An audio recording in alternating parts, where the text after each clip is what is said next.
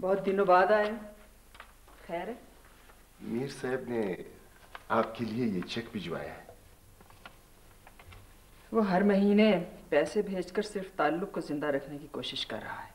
वरना वो जानता है कि मैंने अपना खर्चा उसकी रकम से ज़्यादा बढ़ा लिया है। फिर मैं तुम जाओ।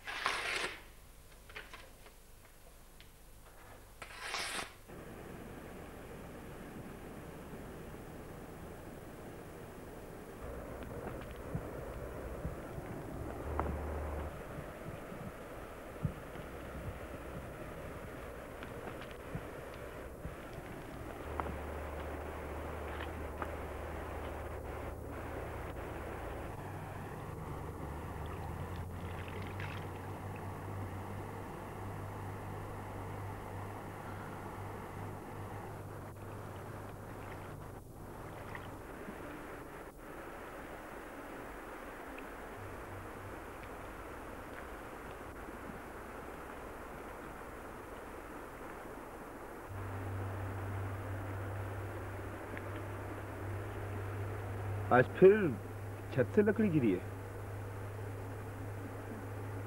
वो आज जख्म इतना गहरा नहीं है। कहाँ जा रहे थे तुम? फिर मार पड़ी है है ना? जब सब कुछ मालूम है तो ज़रूर मेरी ज़ुबान से सुनना है। ज़ाहिर है मैं नौकरानी हूँ उसकी। मालकिन है वो मेरी। इसका मतलब ये तो नहीं कि वो जब चाहे तुम्हारी पिटाई कर दे। छोटी छोटी बातों में तुम्हारे बाल खींचे खाल उतारे। छोड़ क्यों नहीं देती उसकी नौकरी? ये तो बहुत अच्छी है शाहजेब। मेरी अम्मा बताती थी कि जो बड़ी बीबी थी ना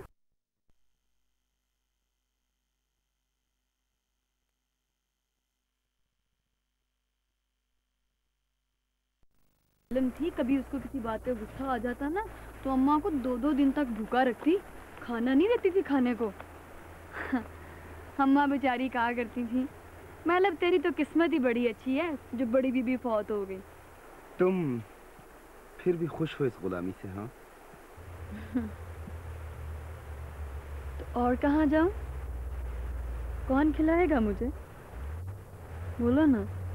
मैं Thank you.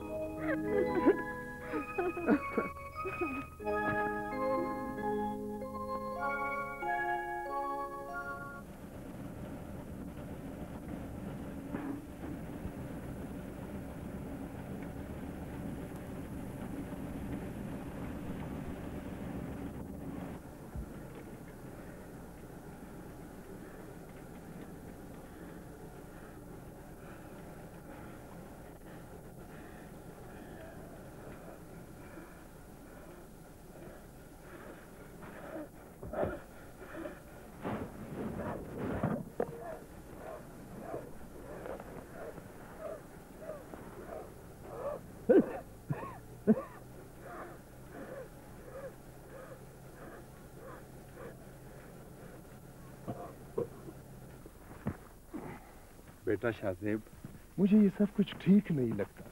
मामू हूँ तुम्हारा भलाई सोचूँगा। क्या रखा है इस लड़की में मामा वो बहुत दुखी लड़की है। सारा दिन अपनी मालकन से पिटती रहती है। कोई नहीं है उसका। बेटा हमें किसी से क्या लेना देना? अपने धंधे का मैं क्या? क्यों पराए चक्रों में पड़ते हो? आयशा ने कोई बात की है क्या? बेटे आयशा ने क्या बात करनी? लोग जो बातें करते हैं वो मुझे अच्छा नहीं लगता। जरा ख्याल रखो बेटा। अच्छा ठीक है मामा।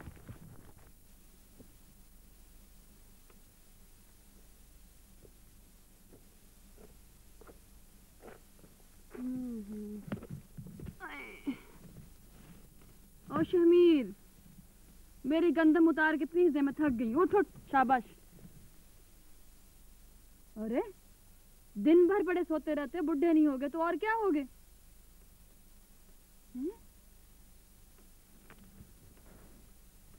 ज़िंदा हो या पंचक्की को बेवा कर गए? लड़की, शरारत नहीं।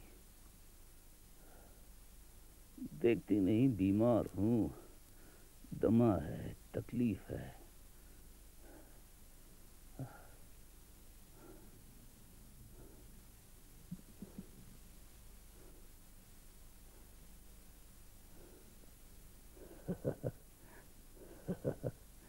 अरे जब पता है तुम्हें तो अपना काम वक्त पे कर लिया करो।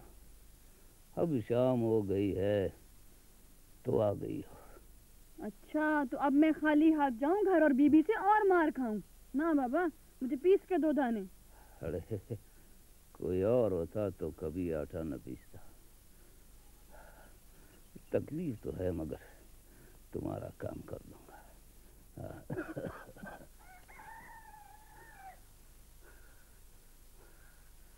पाँच हज़ार पेशगी समझो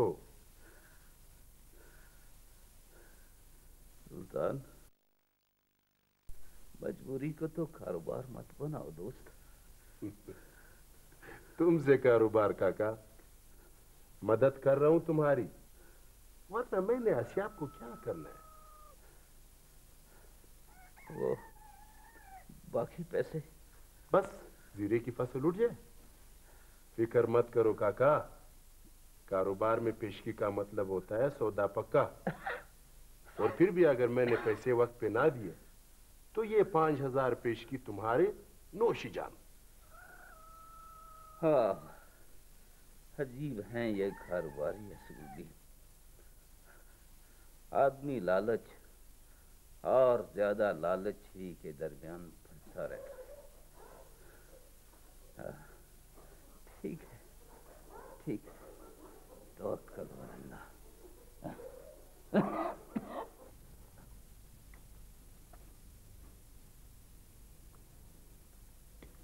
कल कहाँ थे?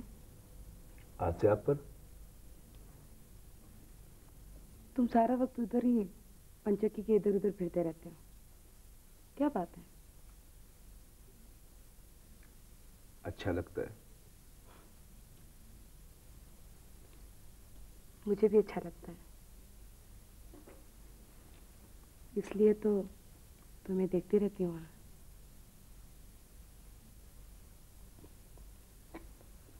पता है शाजिब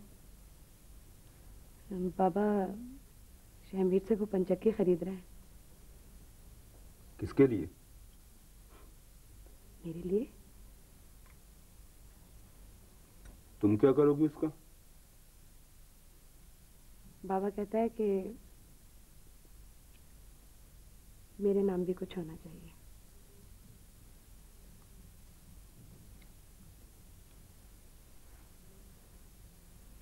शाजिब हम्म। तुम संभालोगे ऐसे आप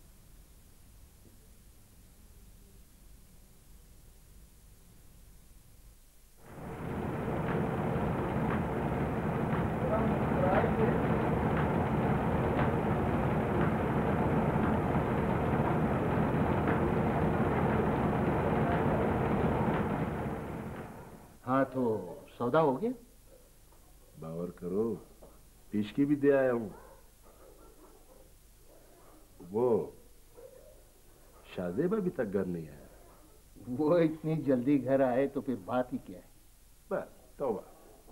हमेशा गिला ही करना उसका। खुद ही तो तुम बोलते हो कि मर्द हमेशा बसे हुए घर पे गिरता है। हाँ इरादा तो यही है मेरा। मगर वो अपना पेट ही नहीं पाल सकता। अच्छा कितनी दुनिया चाहिए उसके पेट के लिए? ये जो इतनी ज़मीन है मेरी, पूरा आसियाब खरीदा है किसके लिए? मेरे आसियाब का आटा उसके पेट को बस नहीं है क्या? हाँ उसकी सात पुश्तों को बहुत है। मगर यार, क्या करूँ? मेरी गरीबी तुम्हारे सामने मुझे बोलने नहीं देती। चलो अब तो तुम में इतनी ज़रूरत हो गई। क्या ख्याल है तुम्हारा? आयशा और शाहजेब की जोड़ी कैसी रहेगी? यार सुल्तान मुझे तुमसे एक गिला है हर अच्छी बात को बहुत देर से करते हो।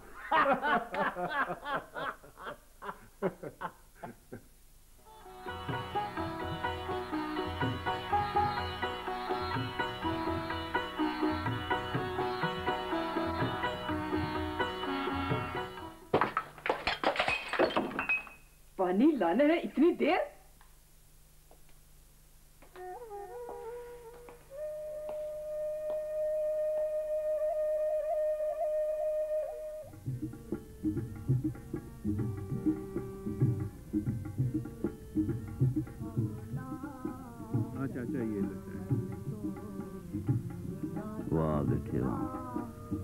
चाचा, ये जो तुमने बैठे बिठाए, अपने हथियार बेचने का फैसला किया है। कहीं ऐसा तो नहीं इसके कल पुरजे तुम्हारी तरह बूढ़े हो गए हो? ये तुम सब लोग जो बैल की तरह फूले हुए फिरते हो, मेरे ही आसे आपके आटे पे फले हुए हो। आराम है जो आज तक गंदम के दाने बराबर भी बेईमानी की हो। नाराज़ क्यों होते हो? मेरा तो ये मतलब था कि तुमने बैठे बिठाए ये फैसला कैसे कर लिया? हाय। हाय हाय बच्चू, नियतों पे शक ही तो इस गाँव का अजाब है। बेटे, मैं इसलिए जा रहा हूँ कि अब मैं बूढ़ा हो चुका हूँ। नहीं होता मुझसे कुछ। लकड़ी का बाउट हूँ। ऊपर से बीमारी है। अब ज़िंदगी के दिन कितने ही रह गए? सात छह महीने।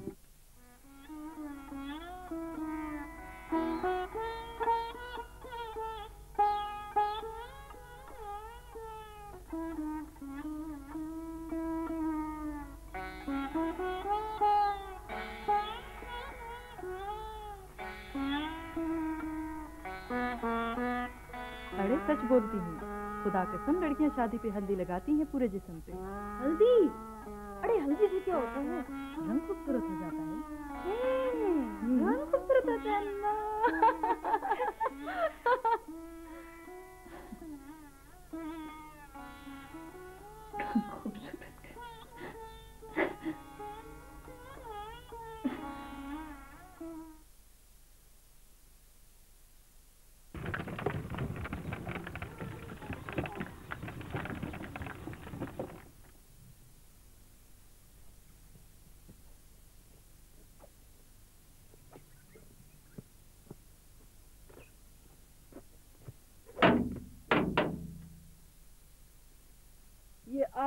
आज बंद है बुड्ढा मर गया क्या?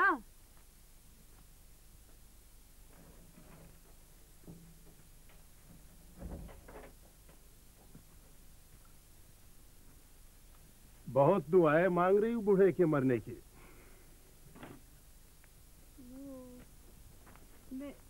अल्लाह ना करे मेरे तो मज़ाक में मुँह से निकल गया। शहमीर तो अब यहाँ नहीं आएगा। क्यों? आसियाब मैंने खरीद लिया है। हमारा आटा पीस दोगे ये आटा वाटा अब शाहजेब से पिसवाना। शाहजेब? वो, कहाँ है वो? अभी थोड़े दिन बाद हिसाब संभालेगा। तब तक ये आसियाब बंद है। वो हमारी बीबी के घर में आटा नहीं है। शाहजेब से बोलो ना। शाहजेब बूढ़ा शहमीर नहीं कि जब दिल के आटे के बहाने पहुँच गई। क्या मतलब?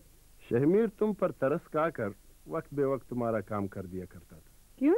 ज़ाहिर है वो शहमीर की तरह अकेला तो है नहीं शादी करेगा तो अपना घर बार संभालेगा या सारा वक्त आसियाब चलाएगा? शादी? तुम्हें इसलिए बता रहा हूँ कि उसका ख्याल दिल से निकाल दो। बहुत सुनता रहा हूँ मैं। वो मेरी बेटी से शादी कर रहे और मुझे ऐसी बातें पसंद नहीं।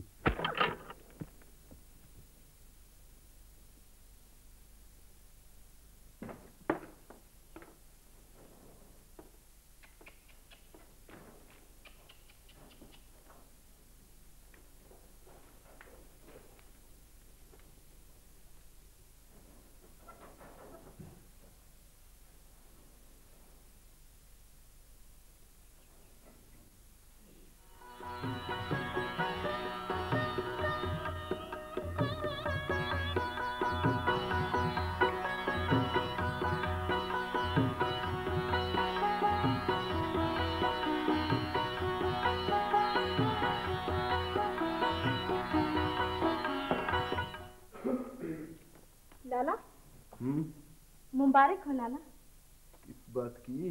अब ज़्यादा मत बनो। जो इतनी बड़ी चक्की मामा ने खरीदी है तुम्हारे लिए। क्या मतलब? अब्बा तुम्हारी शादी आशा से करवाना चाहते हैं। आशा? अब्बा ने कहा है कल घर पे रहना। शहर जाना है ज़रूरी सामान खरीदने। मैंने नहीं करनी ये शादी वादी सौदा किया है अब्बा ने मेरा। मगर अब्बा बात पक्की कर चुके हैं बात पक्की कर चुके हैं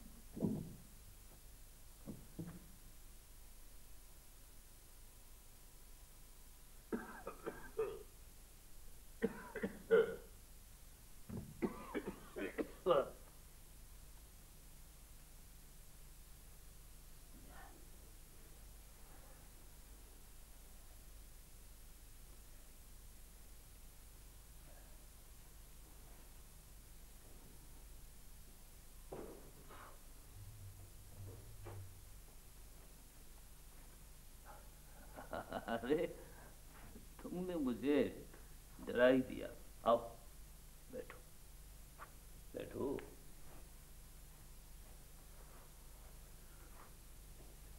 खैर तो है मैडम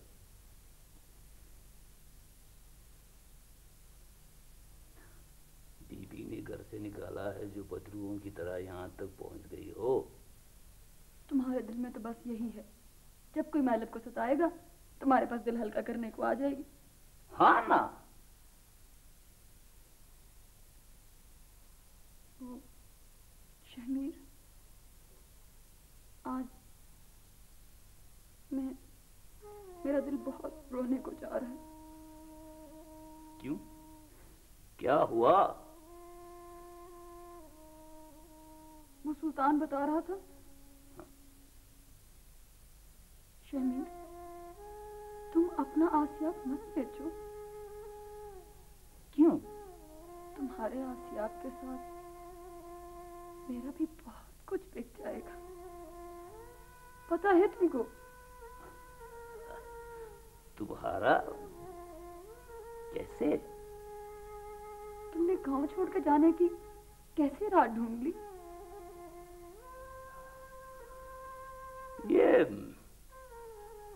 मेरे जाने से तुम क्यों उदास हो मैडम उदास? मैं? सब अच्छे लोग उदास होते हैं। सब नहीं तुम। तुमको पता है जब कोई मुझे तसल्ली देने वाला नहीं होगा और तुम तुमने तो मुझे कभी किसी से तुम पे खुल के रोने भी नहीं दिया। सारा कब तक मैडम मैं अगर न भी जाऊँ तो इस पुरानी बीमारी और बुढ़ापे के साथ कब तक ज़िंदा रहूँगा? तुम मेरी तरह अकेले ज़िंदा रहना सीख लो, लड़की। हाँ।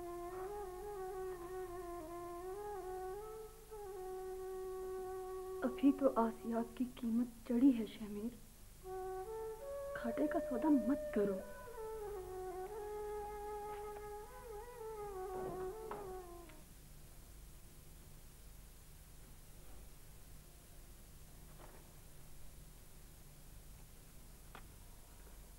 मैं आयशा से शादी नहीं कर सकता, अब्बा।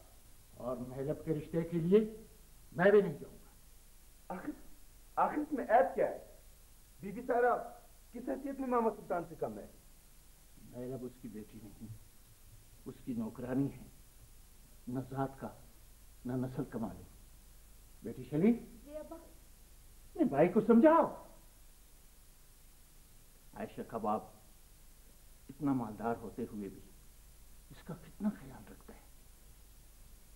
वरना जिसके पास इतनी जायदाद हो कारोबार हो जमीनें हो उसे रिश्तों की क्या कमी है? देखो अपने पाँव पे कुलाड़ी मत मारो। तो हमें कौन सा आज तक खानदान के नाम पर रोटी मिलती रही है? अपनी मेहनत की खाई है इसलिए इज्जतदार है। ठीक है। जब तुम हमारी बात नहीं मानते तो मुझे क्या ज़रूरत पड़ी है तुम्हारे मामलात में फंसने की मैं सुल्तान से माजरत कर लूँगा। और तुम जो मर्ज़ी में आए कर।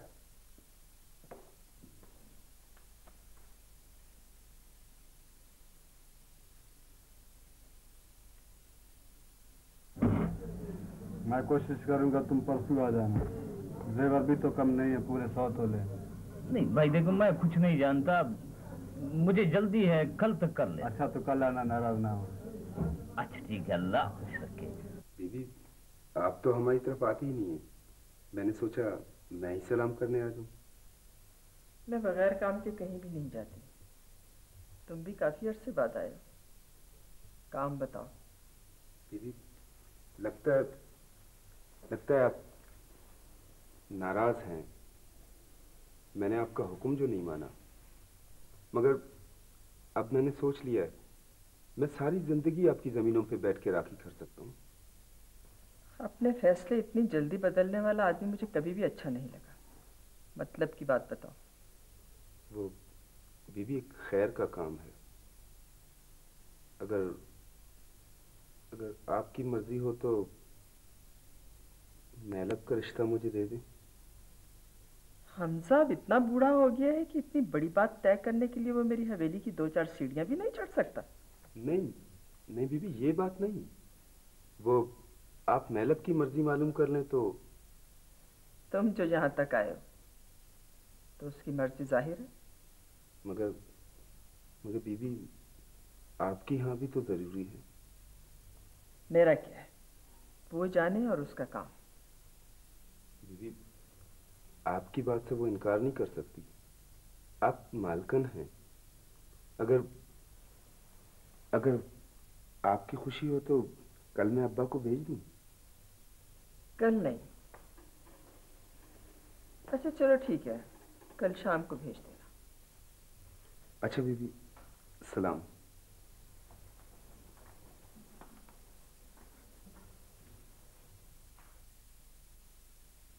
सायरा के घर जाओ। अब्बा वो गलती तो आप तुम मुझे सबक मत पढ़ाओ। गलती और नाफरमानी का फ़र्क मुझे मालूम है। औलाद की गलती माफ़ की जा सकती है। नाफरमानी नहीं। दोबारा तुम लोग वहाँ नहीं जाओगे। बस। मगर मगर अब्बा वो मैंने वादा कर लिया है। वादा? वाह। माशाल्लाह। वादा तो मैंने भी सुल्तान से किया था। तूने मेरा सर कितना ऊँचा किया? बोल। मगर अब्बा मैलब अच्छी लड़की है। मैलब अब इस घर में नहीं आएगी। बस।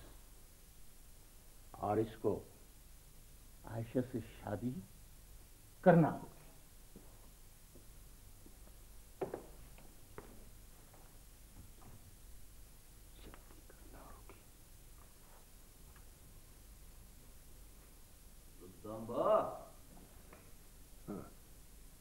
कौन कहाँ बैठे हो? ओ शबीर आओ भाई। अस्सलाम वालेकुम वालेकुम सलाम। बैठो। क्या हाल है? शुक्र है यार। ठीक हो? यार शमीर। जी। वादे के बड़े पके हो यार। लेकिन देखो मैं भी कौल निभाने वाला आदमी हूँ। तुम ना भी आते तो सुबह तुम्हारी पूरी रकम पहुँचा देता। हम- चलो। नहीं सुल्तान बा मैं पैसे लेने नहीं आया। ये लो यार गिन लो। तुम्हारे आसियाब की पूरी कीमत तुम अपनी अमानत रख लो। वो सुल्तान मुझे आसियाब नहीं बेचना क्यों? बस दिल बोला शमीर कारोबार में दिल नहीं दिमाग का हुक्म चलता है। ठीक है मानता हूँ लेकिन मैं कौन सा कारोबारी हूँ? बहरहाल ये तुमको पहले सोचना चाहिए था। अब सौदा हो गया है वापस नहीं होगा। ये लो बाकी पैसे। देखो सुल्तान बा मैंने कहा ना कि मुझे आसियाब नहीं बेचना। और ये जो तीन महीने से तुम मेरी रकम पे अयाशी करते रहे हो मुफ़्त का माल समझा क्या? अरे आराम है जो तुम्हारा एक पैसा इधर उधर किया हो। ये लो। जैसे तुमने दिए थे, वैसे वापस कर रहा हूँ। ये तीन महीने जो दिन रात अपनी जान से ज़्यादा मैं तुम्हारी इस दौलत की हिफाजत करता रहा हूँ। और नहीं, शाबाश तो दो मुझे। चलता हूँ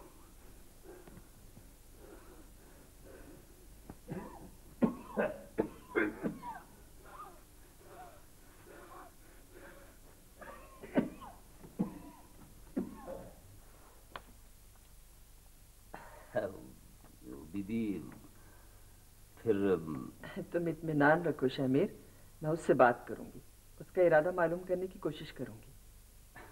मैं तो कहता हूँ नेक काम जितनी जल्दी हो जाए अच्छा है। मैं तुम्हें इतला भिजवा दूँगी। अल्लाह खुश रखे।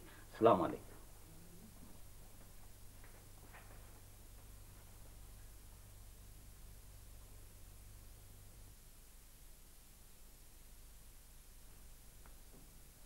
मैलर मैलर। देखो शाम को कुछ मेहमान आ रहे हैं बैठक ठीक कर लेना। बहुत अच्छा दीदी।